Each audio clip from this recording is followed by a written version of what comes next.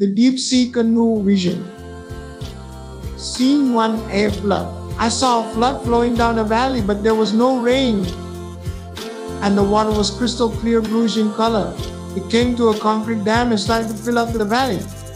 When the dam was fully spilled over the brink, and then turned into mist or cloud and began to float out, 2 A cloud.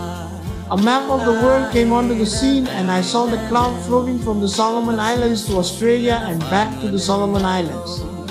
Then it floated to the east and around the South Pacific and back to the Solomon Islands the second time. Then the third time it floated around the South Pacific as far as Tahiti and back to Papua New Guinea. Scene 3. From Papua New Guinea, I saw a three pronged current or stream resembling the effect of a speedboat but without a boat. It headed east towards the Americas.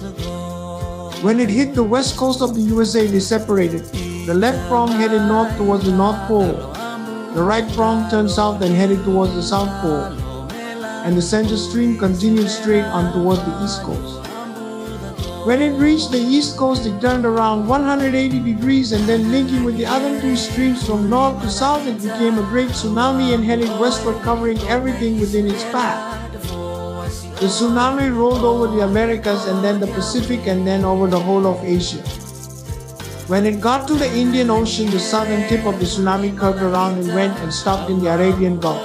The northern wing kept rolling over Europe and then curved around the continent of Africa until it reached South Africa, and then it curved around until it linked up with the southern tip that had been waiting in the Arabian Gulf, forming a perfect circle with Jerusalem at the center.